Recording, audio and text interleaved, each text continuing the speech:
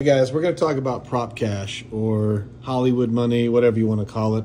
We're going to talk about good prop cash, great prop cash, and real cash. So, obviously, there have to be differences in real cash, which this is. Serial numbers are all different. These serial numbers are all the same, all the same. There have to be differences so that somebody doesn't get fooled and take this fake money and uh, exchange it for some goods or services. So this one clearly states replica on it. That's pretty easy to see. This one says motion pictures on it instead of United States of America. But let's look at the coloring. So this is a real $100 bill. This is a fake $100 bill. And this one's a fake. Just look at the blue strip and tell me which one looks more real. This is what we move. Get it.